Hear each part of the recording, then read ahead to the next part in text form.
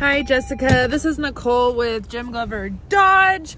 Um, we're texting right now um, and you inquired about this 2012 Honda Civic that I currently just got out of. The reason why I was asking if you had an iPhone because I was just like, well, I wonder if she just wants to FaceTime while I'm out here. But um, a video works well too, so I'm going to kind of show you the overall condition of it. Um, and then I'll also shoot you some pictures so you can look back on it as well. Um, so just let me know what you think and I hope to see you soon have, it looks like it's in really great condition on the interior and the exterior.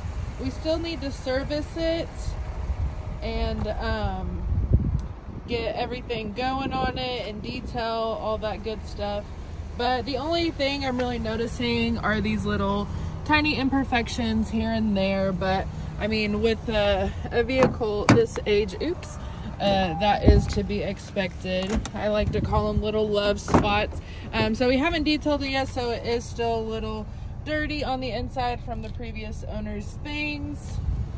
But it smells great. It's not a smoker car. Have all the automatic windows seats look like they're in really great condition as well. We still have to service this, so all these lights should be turned off by the time we get it to you. Um, and then we'll have an aux auxiliary cord right there as well.